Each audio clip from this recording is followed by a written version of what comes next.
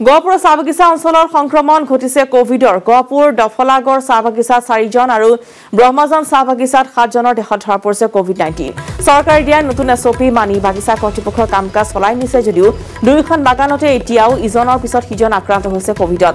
Covid আক্ৰান্তসকলৰ বাবে দুয়োখন চাহ বাগানৰ কৰ্তৃপক্ষই চৰকাৰী নিৰ্দেশনা মানি তেওঁলোকক আছুতীয়াকৈ কভিড চেণ্টাৰ ৰখাৰ ব্যৱস্থা গ্ৰহণ কৰিছে। দুয়োখন চাহ বাগানতে এনেদৰে কভিড আক্ৰান্তৰ সংখ্যা বাঢ়িবলৈ ধৰাত চিন্তিত হৈ পৰিছে বাগান কৰ্তৃপক্ষ। আগবাঢ়িছে খনভাত পলাশ ফুকনৰ ৰিপৰ্ট।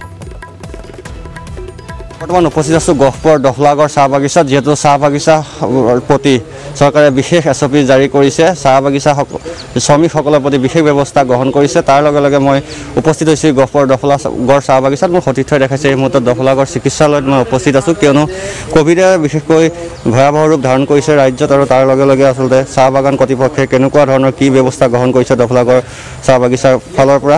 স্বাস্থ্যকৰ্মী আছে বাইদেউ কওকচোন। আপোনালোকৰ বাগানত এতিয়ালৈকে ক'ভিড পজিটিভ ধৰা পৰিছে নেকি? হয়। তিনিটা ল'ৰা আছে আৰু এজন মাইকী মানুহ আছে। চাৰিজন মুঠ আক্ৰান্ত হৈছে। কেনেকুৱা ধৰণৰ ব্যৱস্থা গ্ৰহণ কৰিছে এতিয়া বাগিচা কৰ্তৃপক্ষৰ ফালৰ পৰা? তেওঁলোকক কেনেকুৱা ধৰণৰ যোগান সুবিধা পৰা আদায় দিছে? মাস্ক পিন্ধি আছে আৰু ইয়াতো ইহঁতক খানা পিনাও দিয়া হৈছে। সকলোখিনি সুন্দৰকৈ দিয়া হৈছে। হয় আৰু আছে যুৱক কোৱাচোন তোমালোকৰ এ, দফলাগড় চাহ বাগিচাত। শেহতীয়াকৈ চাৰিজন আক্ৰান্ত হৈছে বুলি আমি গম পাইছোঁ। তেওঁলোকক কেনেকুৱা ধৰণৰ কি ব্যৱস্থা গ্ৰহণ কৰিছা?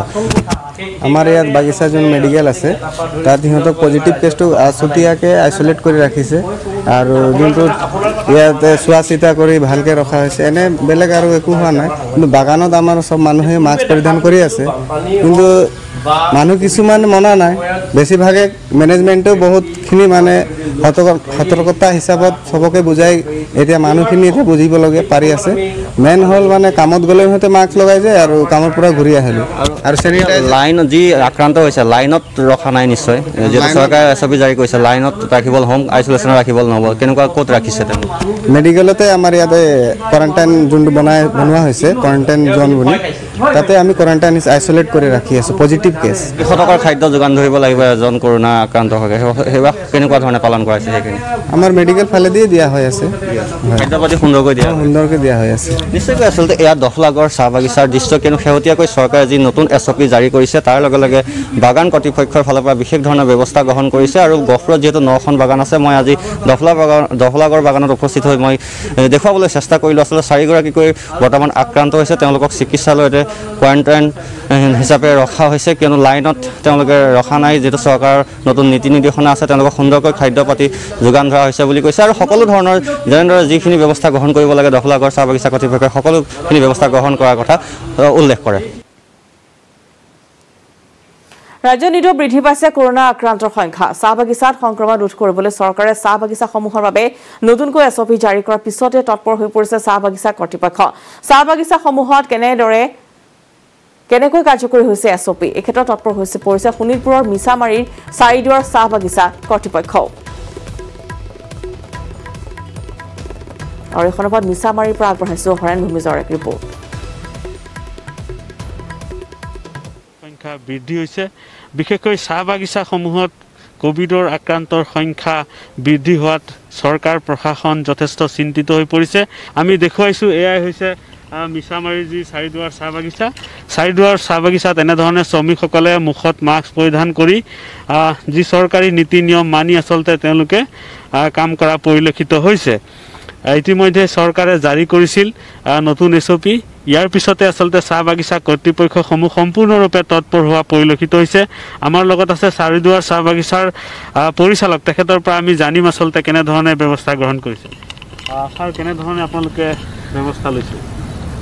বিশেষকৈ গভৰ্ণমেণ্টে দিয়া এছ অ' পিখিনি আমি পুংখানুপুংখানুৰূপে পালন কৰি গৈ আছোঁ।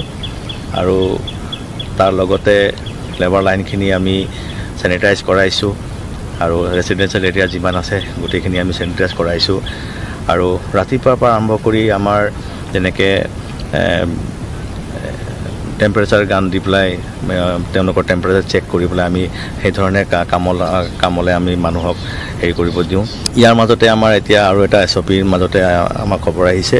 কবি চেণ্টাৰটো চাহ বাগানত আমি প্ৰভাইড কৰি দিব লাগিব।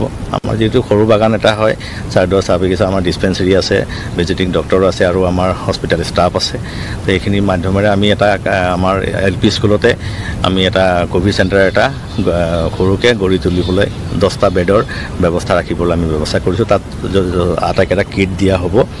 আৰু পি পি কিট দিয়া হ'ব। আমি আমাৰ এক্সিকিউটিভখিনিয়ে বা আমি সকলোৱে আমি এটাই যোগ কৰিছে তেখেতসকলৰ সজাগতাটো যাতে আমি বৃদ্ধি কৰিব পাৰোঁ। বিশেষসকলে এটা এৱাৰনেছ দিবলৈ আমি সেইটো ক'ভিড কি ক'ভিডৰ প্ৰট'কলখিনি কেনেকুৱা ধৰণৰ কথা আৰু তেখেতৰ যি এটা ৰিউমাৰ আহি পৰিছে মানে হোৱাটছআপ বা হেৰি চাই সেইটো যাতে তেখেতসকলৰ পৰা মানে আঁতৰি যায় আৰু মানে ক'ভিডৰ লগত সহযোগ কৰে আমি সেইটোকে বেছি সজাগ কৰিব চেষ্টা কৰিছোঁ। আহ, বিশেষকৈ এয়া আছিল চাৰিদুৱাৰ চাহ বাগিচাৰ পৰিচালকে ধৰি বিষয়াসকল তেওঁলোকে যাৱতীয় ব্যৱস্থা গ্ৰহণ কৰিছে বুলি উল্লেখ কৰিছে আৰু চৰকাৰী যি নতুন এছ অ' পি এই নতুন এছ অ' পি মানি চাৰিদুৱাৰ চাহ বাগিচাতো শ্ৰমিকসকলে কৰ্মত নিয়োজিত হোৱা পৰিলক্ষিত হৈছে। কভিড মহামাৰীয়ে মানুহৰ মাজত ত্ৰাসৰ সৃষ্টি কৰি থকাৰ সময়তে এইবাৰ শস্যৰ ওপৰত সন্ত্ৰাস চলাইছে পোকে। কভিডৰ ভয়ংকৰ পৰিৱেশে সকলোৰে মনবোৰ আনি নিছে এক বিষাদ গাথা। বাতৰিৰ পৰা বিদ্যালয়ৰ পূৰ্বে আগবঢ়াই থৈ গৈছে প্ৰতিবেদন।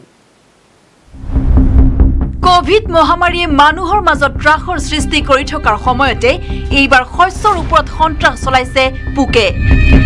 কাল কৰোণাই কালৰূপ ধাৰণ কৰাৰ সময়তে হাজোৰ হালু গাঁৱৰ একাংশ মহিলাই প্ৰায় পাঁচ বিঘা মাটিত বেলি ফুলৰ খেতি কৰি স্বাৱলম্বনৰ পথ বাছি লৈছিল। তীৰ্থনগৰী হাজোৰ হালু গাঁৱৰ মা কালী আত্মসহায়ক গোটৰ বাৰগৰাকী মহিলাই ব্ৰহ্মপুত্ৰৰ বালিচৰত পোন প্ৰথমবাৰৰ বাবে এই খেতিডৰা আৰম্ভ কৰিছিল। চালে চকুৰোৱা এক হালধীয়া দলিচাই যেন সকলোকে মোহিত কৰিছিল। কিন্তু শেহতীয়াকৈ এক অচিন পোকে খেতিডৰা তছনছ কৰাত বিবুধিত পৰিছে এতিয়া মহিলাসকল। হয় আমি আগবাঢ়ি আহিছোঁ কিন্তু আমাক কৃষি বিভাগৰ ফালৰ পৰা কোনো ধৰণৰ উৎসাহ দিয়া নাই। তেওঁলোকে আমাক আগবাঢ়ি অহা নাই এতিয়া আমাৰ এটা পোক পোকে ধৰিছে আৰু বৰ্তমান কোনটো সময়ত খেতিখিনি আমি চপাব লাগে কেনেকুৱা পৰ্যায়ত চপাব পাৰিম কি কৰিব পাৰিম ক'ত বিকিব পাৰিম কি কৰিব পাৰিম সেই বিষয়ে আমি একেবাৰে নাজানো। আৰু সেই বিষয়ে জনাবৰ কাৰণে আমি তেওঁলোকৰ লগত যোগাযোগ কৰি আছোঁ কিন্তু কোনো ধৰণৰ তাৰমানে ৰেচপণ্ড পোৱা নাই তেওঁলোকৰ পৰা। কনকলতা আঁচনিৰ পঞ্চাছ হাজাৰ টকা ব্যয় কৰি খেতিডৰা কৰিবলৈ আগবাঢ়ি অহা মহিলাসকলে এতিয়া মূৰে কপালে হাত দিবলগীয়া পৰিস্থিতিৰ সৃষ্টি হৈছে। নষ্ট হৈ যোৱা খেতিডৰাক লৈ এতিয়া চিন্তাত পৰিছে গোটটোৰ মহিলাসকল। হাজোৰ পৰা Dhiraj Das news eighteen Assam north east. ৰঙালীৰ ৰঙে